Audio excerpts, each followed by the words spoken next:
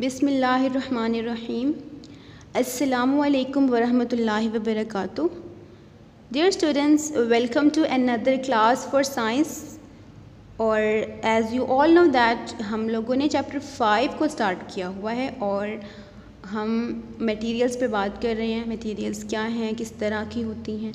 तो आज हम बात करेंगे मटेरियल्स की नेचर पर। Nature of materials this is our today's topic nature of material इसका मतलब यह है कि मटेरियल्स किस किस किस्म की हो सकती हैं। ठीक है? अगर आप उनको देखें, अपने इर्द गिर्द हर मटेरियल को ऑब्ज़र्व करें, उन्हें टच करके देखें तो आपको पता चलेगा कि मटेरियल्स की नेचर एक दूसरे से अलग अलग होती है। ठीक है? जैसे कि कुछ मटेरियल्स को अगर हम देखें और उन्हें टच करके देखें तो आपको लगेगा कि वो बहुत सॉफ्ट हैं, ठीक है? जैसे कि डस्टर जो होता है वो बहुत ज़्यादा सॉफ्ट है। इसी तरह कोई सिल्क का कपड़ा हो जाए सिल्क क्लोथ उन्हें आप टच करके देखें दे आर वेरी सॉफ्ट और इसी तरह कुछ मटेरियल्स होते हैं they are very hard to touch उन्हें आप टच करके देखेंगे तो वो बस सख्त होंगी, ठीक है? जैसे this hammer it's a hard material इसी तरह से कुछ मटेरियल्स हैं, जब आप उन्हें देखेंगे, उन्हें फील करेंगे दे आर वेरी रफ़ अब इस बास्केट को अगर हम देखें तो इस बास्केट को अगर आप टच करके देखें तो ये रफ़ है, ठीक है? आपको रफनेस फील होगी।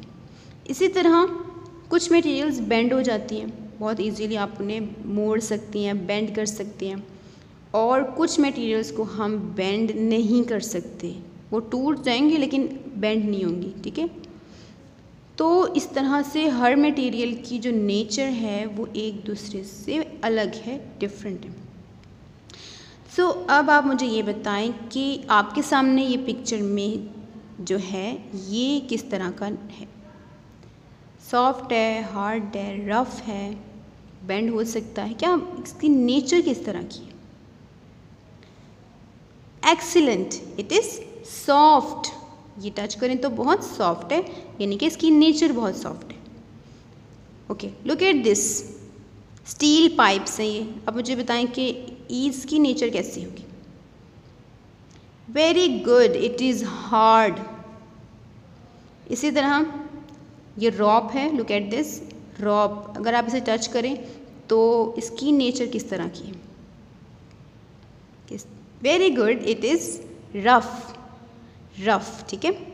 Okay look at this pillow it is pillow और पिलो को अगर हम टच करें तो इसकी नेचर कैसी होगी? Very good soft it is very soft nature okay the last one the stones ये जो स्टोन्स आपको नज़र आ रहे हैं, इनकी नेचर कैसी होगी?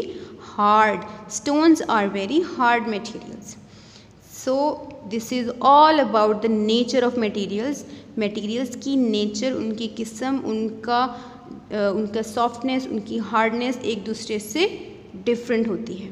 I hope you have understood it अब इस रेलिवेंट बुक पे एक पेज है। इस टॉपिक से रिलेटेड एक्टिविटी वो हम कर लेते हैं। So let's open the book students open the book now page number seventy one seventy one page हम इसे करने वाले हैं so open this page nature of materials इसको हम पहले रीड करेंगे so focus here so now I am going to read it आप भी मेरे साथ रीड कीजिए. Nature of materials some materials are hard others are soft similarly Some materials bend easily but other cannot. Some materials are smooth but others are rough. So, materials are different from one another according to their nature. तो ये है nature of material जिसके according materials एक दूसरे से different हैं किस तरह डिफरेंट हैं कुछ मटेरियल्स सॉफ्ट होते हैं कुछ रफ कुछ बेंड हो सकते हैं और कुछ मटेरियल्स हार्ड होते हैं। सो so, इस तरह मटेरियल्स की नेचर एक दूसरे से डिफरेंट होती है। Now we have an activity related to that topic so open page 72 now students page number 72 open this page we are going to do the activity two on this page so activity two क्या है? Let's read it write one characteristic about the nature of following things by putting the letters pictures given है. आपने pictures को देखना है कि ये क्या चीज़ है और फिर आपने ये अंडरस्टैंड करना है कि वो हार्ड हैं सॉफ्ट हैं या रफ़ हैं. अगर तो वो चीज़ें हार्ड हैं तो आप जस्ट एच राइट करेंगे उन बॉक्सेस के अंदर. और अगर वो सॉफ्ट चीज़ें हैं तो आप एस कैपिटल एस राइट करेंगे। और अगर वो रफ़ हैं तो you will write R capital R clear now let start it look at this this basket इसके बारे में मुझे बताएँ कि इसकी जो नेचर है, वो किस तरह है? हार्ड सॉफ्ट या rough very good it is rough चूँकि ये रफ़ है तो मैंने यहाँ पर कैपिटल आर राइट किया है। आप लोग भी यहाँ पर लिख लें। Look at the second thing this is a chair अब आप मुझे ये बताएँ कि इसकी नेचर कैसी है। Very good it is hard so we will write H capital H in this box okay the third picture is actually a stone ये एक स्टोन है। और आप मुझे ये बताएँ कि जो स्टोन होता है उसकी नेचर कैसी होती है? Very good it is also hard तो we will write H here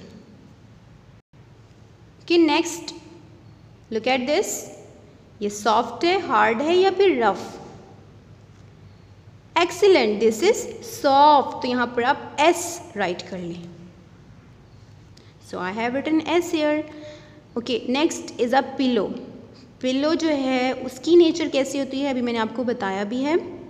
It is soft very good तो यहाँ भी एस राइट कर लेंगे हम। Okay done next is a rope rope और जो ये रॉप है, इसकी नेचर कैसी होगी? एग्जैक्टली रफ रफ ठीक है? सो यहाँ पर क्या लिखेंगे? R okay next one it's a silk silk cloth. और सिल्क क्लोथ जो होता है, वो सॉफ्ट होता है। तो यहाँ पर हम एस राइट करेंगे। ओके लास्ट पिक्चर में what do you see in this picture good it's a steel pipe steel और स्टील पाइप्स जो होती हैं, ये कैसी होती हैं? गुड हार्ड सो यहाँ एच राइट कर लें।